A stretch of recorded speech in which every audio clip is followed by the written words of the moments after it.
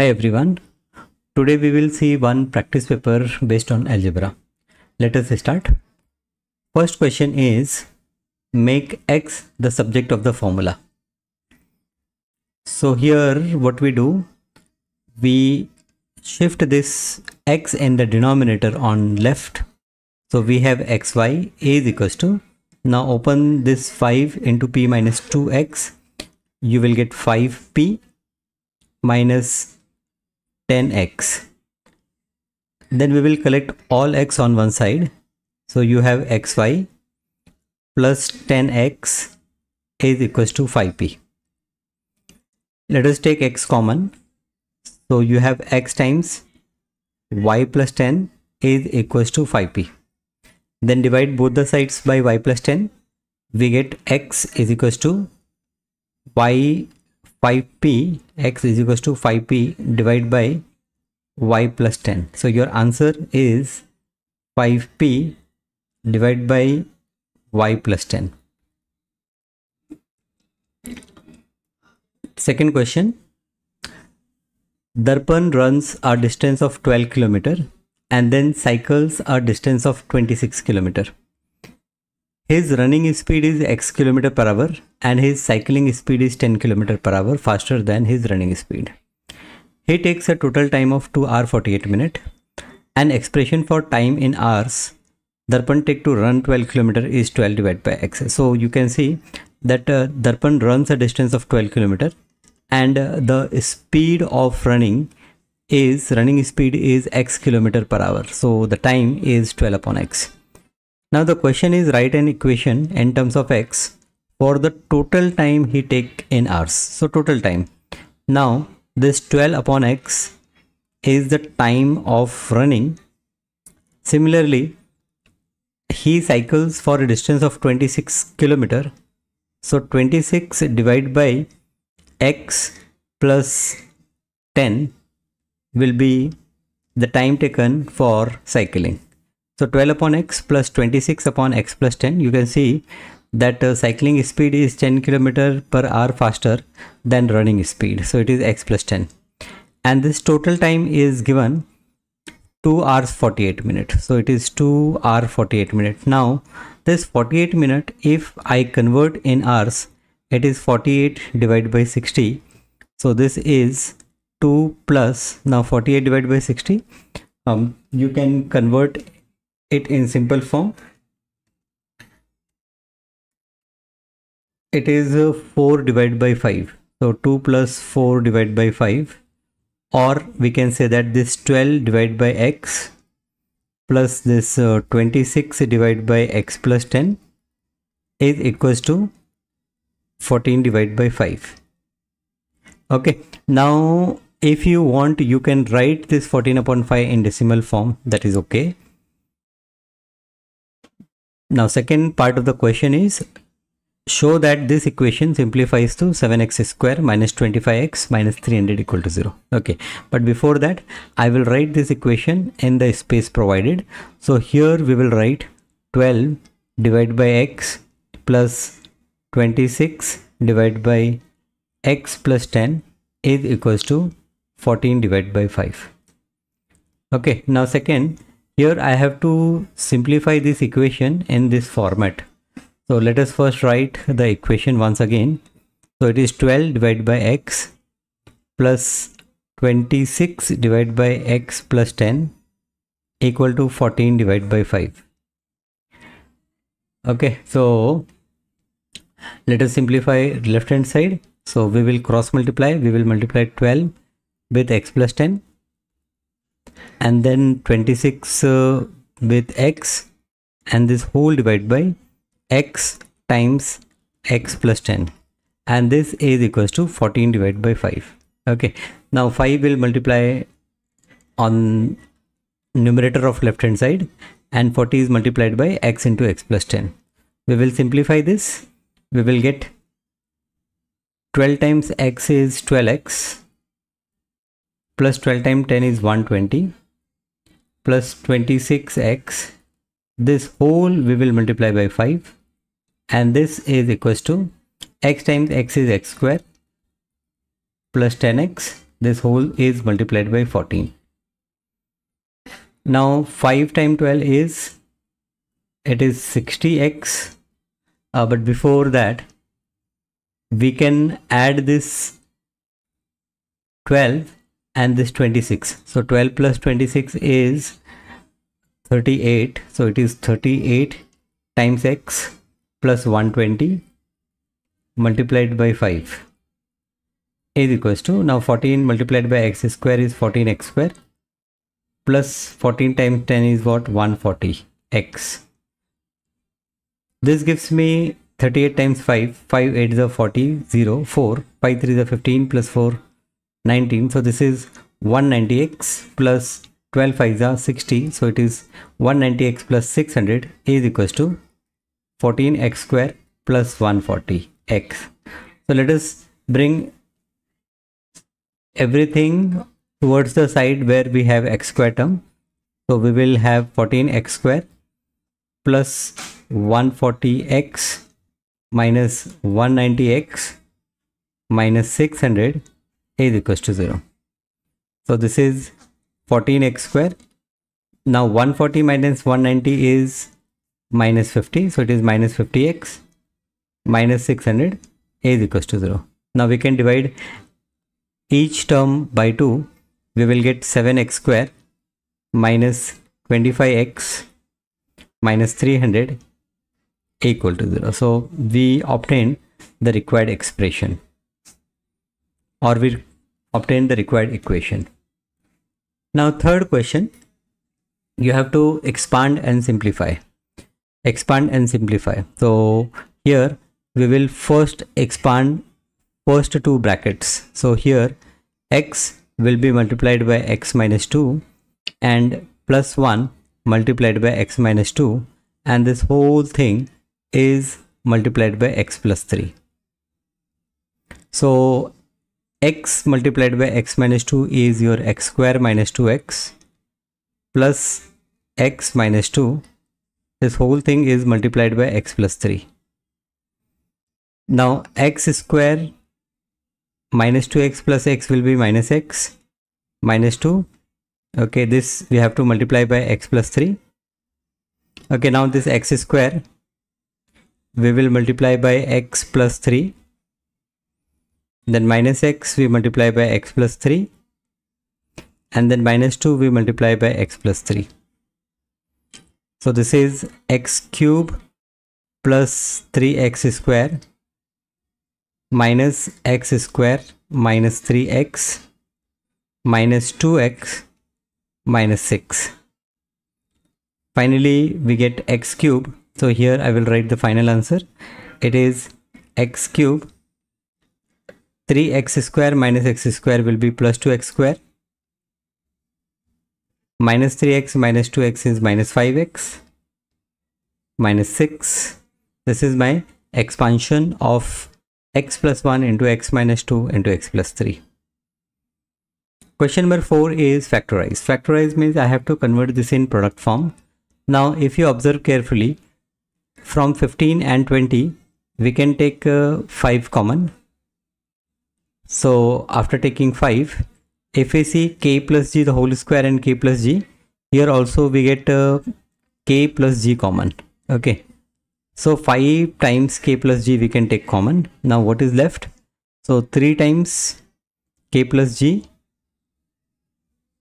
and uh, so let us use this bracket and uh, from here minus 20 k plus g here if I take 5 common so 4 is left. K plus g already we have taken common.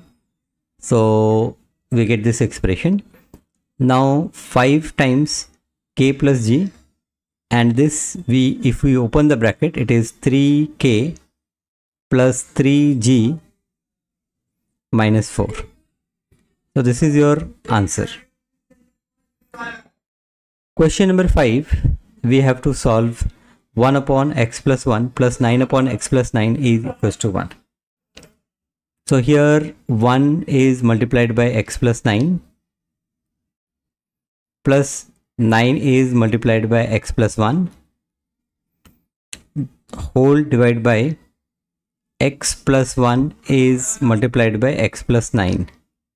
I hope you understand what I am doing here. This is equals to 1.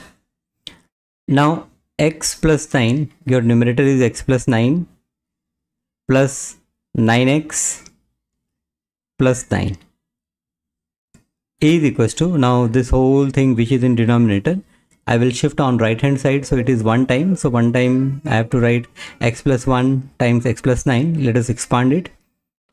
X time x is x square plus x time 9 is 9x plus 1 time x is x plus 1 time 9 is 9 so here x plus 9x will be 10x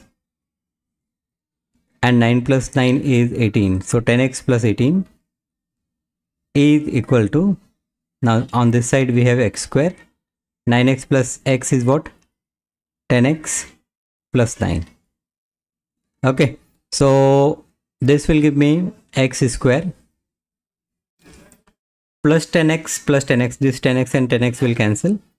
And I have x square plus 9 minus 18 a is equals to 0 this gives you x square minus 9 is equals to 0 this 9 can be written as x square minus 3 square is equals to 0 so this you can write as x minus 3 times x plus 3 x minus 3 times x plus 3 is equals to 0 so that will give you x minus 3 0 or it will give you x plus 3 equal to 0 so from here you will get x is equals to 3 or you will get x is equals to minus 3 now question number 6 m power minus 1 by 4 we have m power minus 1 by 4 is equals to 27 into m power minus 1 now let us move m on one side so here i can say that m power minus 1 by 4 divided by m power minus 1 is equals to 27. Now m power minus 1 by 4 minus of minus 1 will be equal to 27. Now here what we are doing? We are using the concept as if a power b divided by a power c is given then it can be written as a power b minus c. So m power here left hand side will be m power minus 1 by 4 plus 1 is what? It is minus 3 divided by 4 and on this side it is 27 that we can write as 3 power uh, this is plus 1 so it will be plus 3 by 4 minus 1 by 4 plus 1 is what? Plus 3 by 4 27 can be written as 3 power 3 okay so this gives you m power 1 by 4 now this this can be left hand side can be written as m power 1 upon 4 the whole cube. And your right hand side is 3 cube. So if you compare your left side and right side you will get m power 1 by 4 is equals to 3 and therefore you have m is equals to this gives you m is equals to 3 power 4 okay. So m is equals to 3 power 4 is 3 times 3 is 9 9 times 9 is 81 so your value of m is 81 okay. So here basically if you want to add one step here what we are doing? M power 1 by 4 here we are taking fourth power so here also it is fourth power. And then 1 by 4 and 4 this will cancel. Now seventh question x cube upon 8 power minus 4 by 3 now this i can write as now here your power is negative. So again you have a concept like if you have a power minus b it can be written as 1 upon a power b. So what we are doing we are taking reciprocal of this a or else you can also write this as 1 upon a the whole power b. You can write like that also. Okay. So x cube divided by 8 uh, I can write as 8 divided by x cube and its whole power is 4 divided by 3 now 8 itself can be written as 2 cube so it is 2 divided by x the whole power 3 and whole power we have 4 divided by 3 So this will be 2 divided by x power 3 times 4 divided by 3. Again, you know law of indices as a power b, the whole power c can be written as a power b times c. So this will give you this 3 and 3 will cancel and you will get answer as 2 divided by x the whole power 4 or you can write as 2 power 4 is 16 divided by x power 4. So either you write 2 divided by x the whole power 4 or 16 divided by x power 4. Now your question number 8 you have to find the value of p and value of q. Okay so this expression here we have two way of solving this problem. Now the simple way is that you keep your left hand side as x square plus 8x plus 10 and you expand your right hand side so this right hand side will become x square plus 2px plus p square plus q now if I compare both the sides, this x square on the left and right, they're same, so we can cancel. Now this 8x and this 2px, we can compare them. So from here we can say that 8 will be equal to 2p. And this gives you the value of p is equals to 4. Next uh, constant term if I compare, so 10 will be equal to p square plus q. Now the value of p is 4, so p square is what 16 16 plus q. And on the left side we have 10 so that gives you the value of q is equals to 10 minus 16 and 10 minus 16 is minus 6 so value of p is 4 value of q is minus 6 uh, question number 9 the area of the rectangle is 29 centimeter square greater than area of the square the difference between the perimeter of the two shape is k, k centimeter. Find the value of k and uh, you must show all your working. Okay. So the first condition which is given to us is the area of rectangle. Okay. Now area of rectangle, if you see area of rectangle, you can say that it is, uh, let me write over here this space. I will say that x minus 1 times 2x plus 1 this is area of rectangle now it is said that this is 29 plus it is 29 centimeter square greater than area of square so area of square is x square. So it is 29 plus x square. Now let us simplify this. X times 2x is 2x square. And x times 1 is plus x. Then minus 1 times 2x is minus 2x minus 1 times 1 is minus 1 and it is equals to 29 plus x squares. Let us bring everything on the left side. So 2x square minus x square will give you x square.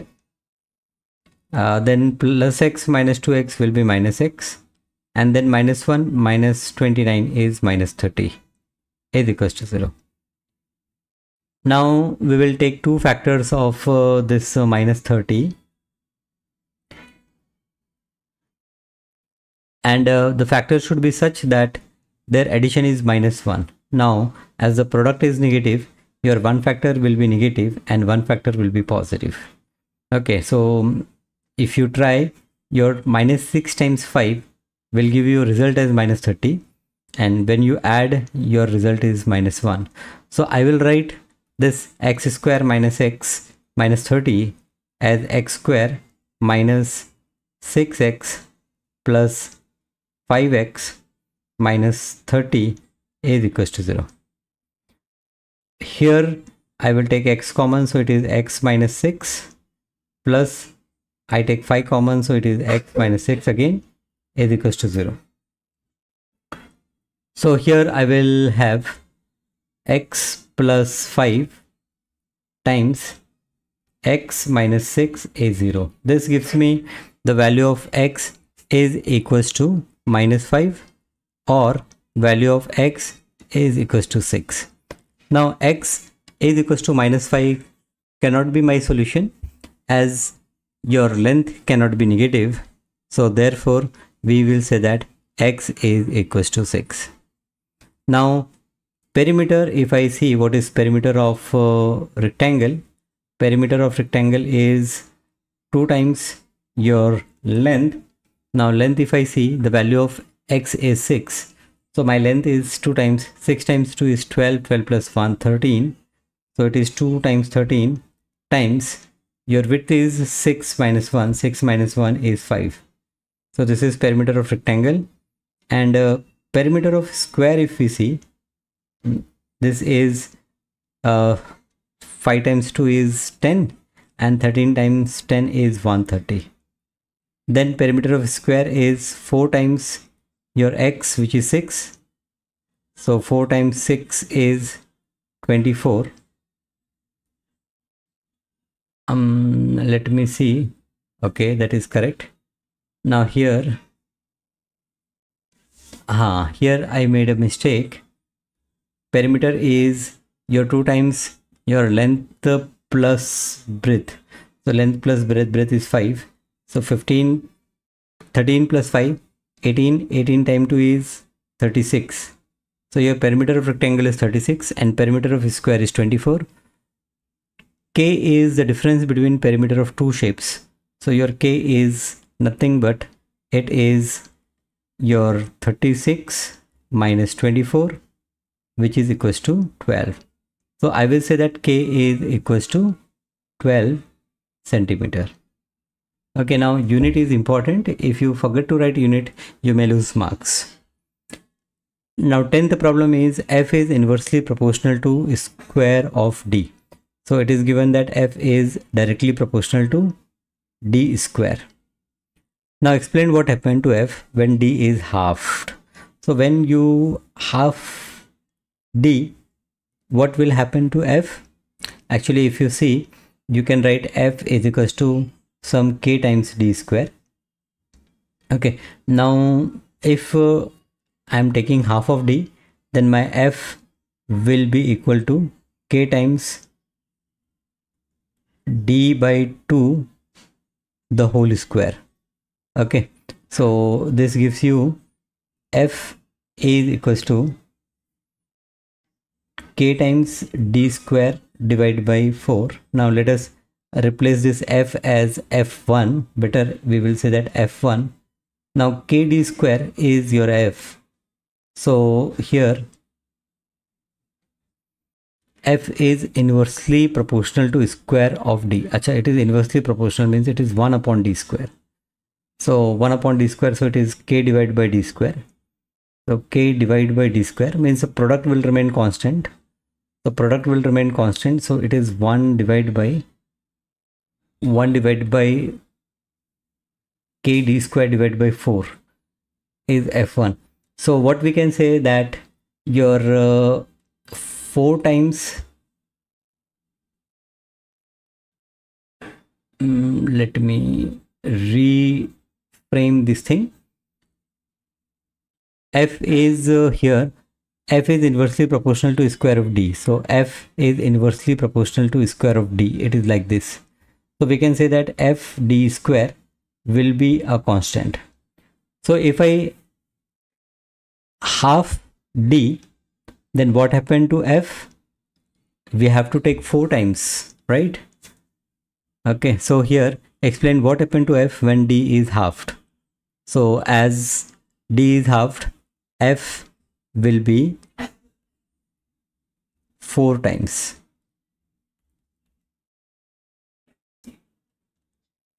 Find the integer values of n that satisfies the inequality integer values okay? So 18 minus n. Now this inequality I will separate I will write as 18 minus 2n is less than 6n and 6n is less than or equal to 30 plus n. So here we will have 18 is less than 6 plus 2 8n and here we have 6n minus n is what? 5n pi n is less than or equal to 30. So this gives me n greater than 18 divided by 8 and here n will be less than or equal to 30 divided by 5 is 6 okay so this 18 divided by 8 is 8 times 2 16 8 times 3 so this n is greater than 2 so what integer values it satisfies so one integer value could be 3 then it is 4 5 till 6 I will take because n less than or equal to 6 and n greater than or equal to 18 by 8 is your answer. And in integer 3 4 5 6 is your answer. Now question number 12 is y is inversely proportional to root x. So you have y is equals to some constant k1 upon root x. And uh, x is directly proportional to w square. So it is given that x is directly proportional to w square means i can say that x is equals to some other constant k times w square. So therefore um, we have to express y in terms of w. So therefore you can say that y is equals to k1 divided by root of. Now in place of x we will write as k2 w square.